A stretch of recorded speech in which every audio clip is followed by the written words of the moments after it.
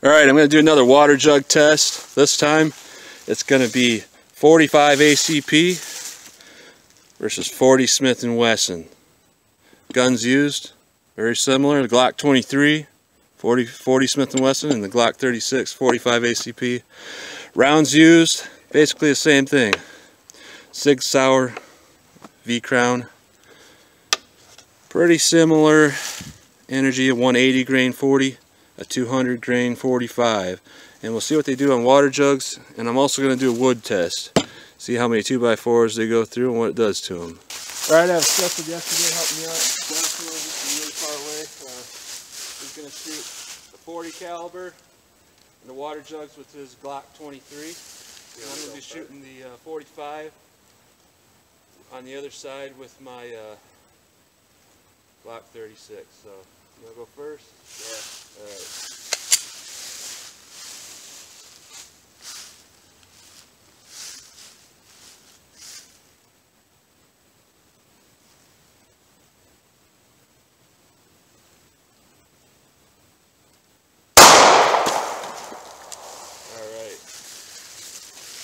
We got a bullet. I'm going to fire mine before we take a look at it.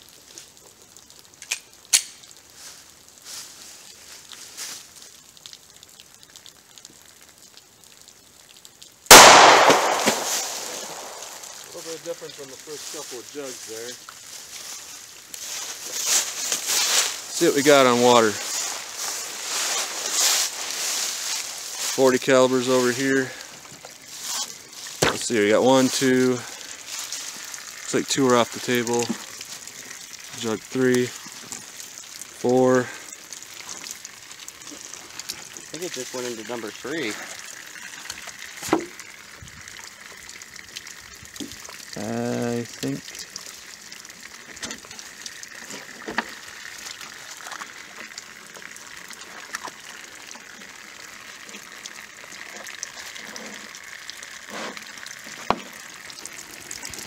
Yeah, you're right. Jug three. This is, I can already tell you this is some interesting differences here. These are fired by through four layers of denim, by the way. And that's pretty mangled up. It didn't mushroom at all, huh? And I can tell you right now, looking at the 45, the, the results are completely the opposite. Jug 3, 45, I'm looking back, I have a backstop back here after six jugs. We're in, we're in this backstop. Are you? Yeah. Oh, you are, huh?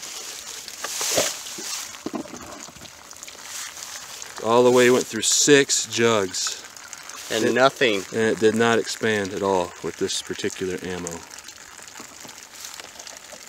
So this is what you're getting with the uh, Sig Sauer ammo. Big difference between the uh, 45 and the 40. Because the media is exactly the same. Four layers of denim, water Wow. jugs. And you get a difference of this. How many jugs did that go through?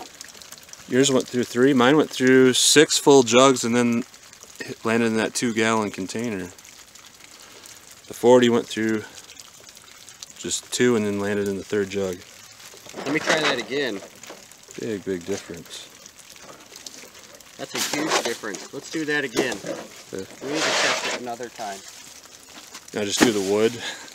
Yeah, let's do the wood. Right now we're going to do the wood test on 2x4s. 40 Smith and 45 ACP. See what does to wood.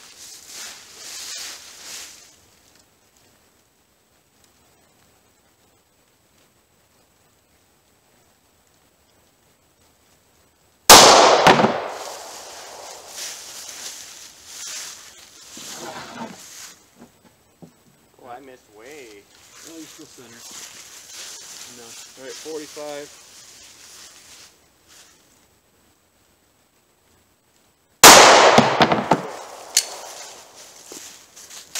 Alright. Get a couple of hits on here. We'll see what we got. The 45 versus the 40. Right off the bat. But you're seeing a big old dent. I'm not sure it made it through the first one with the uh, 45. The 40, it made it through it looks like. I see it, there it is. I don't know if you can see it on camera, but it's in there about quarter of an inch into the 2x4 number 2. 45 ACP, that's in the first one.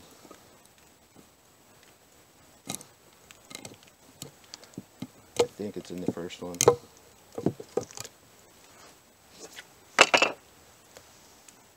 I can't see the bullet, but it's got to be because it's just a dent in board 2. So, yeah, there it is. This thing mangled.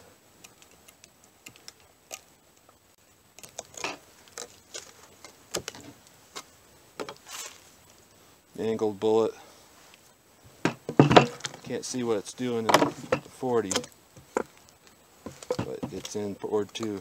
Definitely more penetration with that 40 caliber than the 45. Which is to be expected. But more energy, the same amount of energy in a skinnier bullet's going to punch through more. Pretty cool. That's what you get though, 40 versus 45. Uh, can't argue with what the results are.